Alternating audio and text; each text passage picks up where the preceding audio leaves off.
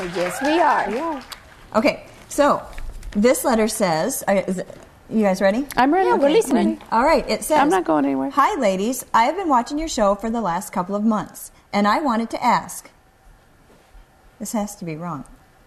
Nicole, could you tell me a little bit about yourself? I sure can tell you about myself. You know, you should not be surprised that they want to know about me. I am the prettiest and the youngest. Of course, they want to know.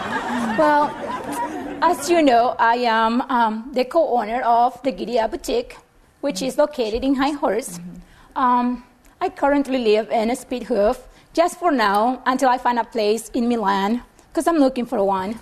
Um, I did some modeling for a while, and uh, you can see, you know, Catalogs. and you couldn't even do that one, honey. But anyways, I'm also co-host of the show, The Women of Sweet Swan County. Thank you for asking.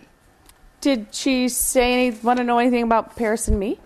Honey, look at yourself. Are you serious? I wouldn't even want to know No, you I'm Nothing. looking or talk today. to you. Nothing. I am looking good. Well, today. the letter goes Buy on. yourself a mirror.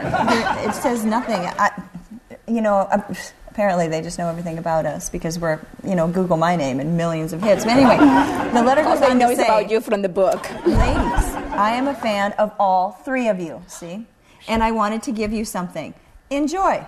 Signed, a fan. Wow. Let's see what we got. wow, Paris. What, gift baskets from Gift Baskets and More in Winnebago. Wait, Paris. Gift baskets and more from Winnebago gave one of these gift baskets to everybody in our studio audience. Isn't that wonderful? Wow, awesome!